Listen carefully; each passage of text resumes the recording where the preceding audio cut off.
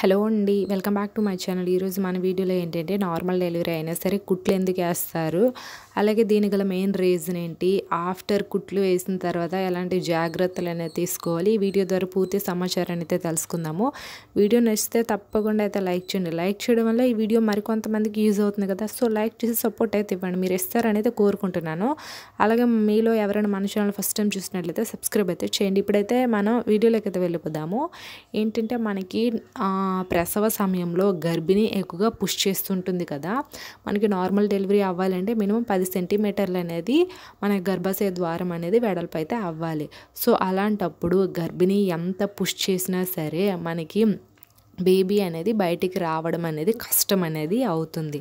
So మనం ఎక్కువగా push చేసేటప్పుడు మన గర్భాశయ ద్వారం దగ్గర ఉండే ఆ మెత్తటి పలుచున పొరలన్నీ సాగుతాయి అంటే చిట్లుతాయి. అలా చిట్లకుండా ఉండడానికి బేబీ అనేది సురక్షితంగా బయటికి రావడానికి చిన్న కట్ చేస్తారు మన వజనే దగ్గర. సో అలా కట్ చేస్తే బేబీ చాలా ఈజీగా బయటికి అనేది వస్తుంది కాబట్టి కొంచెం జస్ట్ టూ ఇంచెస్ చిన్నగా కట్ చేస్తారు. సో అలాంటప్పుడు బేబీ అనేది చాలా సురక్షితంగా ఉంటుంది.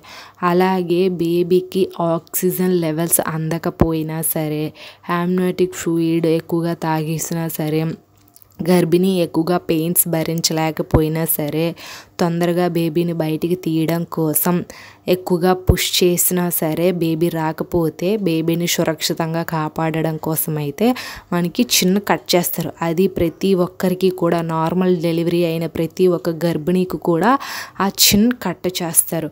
ఆ కట్ చేసి జస్ట్ టూ స్టిచెస్ లేదా త్రీ స్టిచెస్ అనేది వేస్తారు.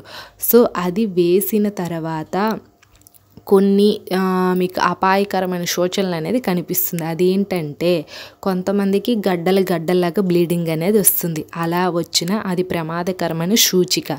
సో అలా వస్తే డాక్టర్ని అయితే వెంటనే సంప్రదించండి. వెంటనే చెప్పాలి. మీకు రికవరీ అనేది ఎలా ఉంటుంది అంటే కుట్లు వేసిన తర్వాత వన్ డేలో మీరు కూర్చోగలరు నిల్చోగలరు ఎలాంటి సమస్యలు అయితే ఉండదు. బట్ అది పూర్తిగా తగ్గడానికి అయితే వన్ మంత్ అయితే పడుతుంది. అలాగే మీకు కుట్లు వేసిన తర్వాత అక్కడ చీము కారిన బ్లడ్ అనేది ఎక్కువగా బ్లీడింగ్ అనేది ఎక్కువగా ఓవర్ బ్లీడింగ్ అయినా గడ్డలు గడ్డలుగా వచ్చినా సరే మీకు అక్కడ ఎక్కువగా పెయిన్ ఉన్నా సరే డాక్టర్తో అయితే మొహమాటం లేకుండా అయితే చెప్పాలి. ఎందుకంటే అవి చాలా ప్రమాదకరం ఆఫ్టర్ డెలివరీ తర్వాత. సో చెప్పాను కదా పూర్తిగా రికవరీ అవ్వడానికి అయితే వన్ మంత్ అయితే పడుతుంది. అలాగే ఎలాంటి జాగ్రత్తలు తీసుకోవాలంటే మనం చల్లని వాటర్తో అయితే క్లీన్ అయితే చేసుకోకూడదు. ఆ ప్లేస్లో హాట్ వాటర్తో మాత్రమే వన్ మంత్ టూ మంత్స్ వరకు కూడా మన హాట్ వాటర్ యూస్ చేయాలి. అలాగే మనకి పెయిన్ కిల్లర్స్ టాబ్లెట్స్ కూడా ఇస్తారు అది తగ్గడానికి.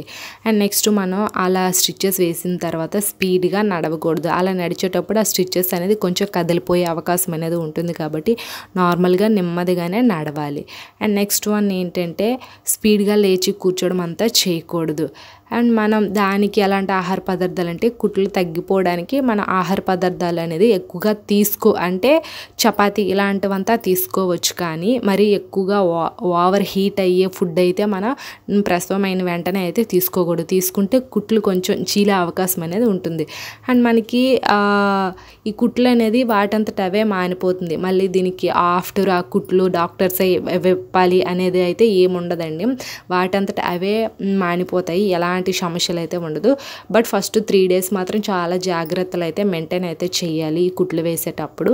చెప్పాను కదా బేబీని సురక్షితంగా బయటికి తీయడం కోసం అయితే మనకి చిన్న కట్ చేస్తారు కానీ ఇంకే సమస్యలు అయితే ఉండదు. అది ప్రతి ఒక్క గర్భిణికి కూడా చేస్తారు. అండ్ ఒక సిస్టర్ అయితే దీని గురించి అయితే అడిగారు సో ఈ వీడియో అయితే అందరికి యూజ్ అవుతుందని అనుకుంటున్నాను. వీడియో నచ్చితే తప్పకుండా లైక్ అయితే చేయండి. ఇలాంటి మరైన అప్డేట్స్ కోసం అయితే మన ఛానల్ అయితే సబ్స్క్రైబ్ అయితే చేయండి. Thanks for the watching this video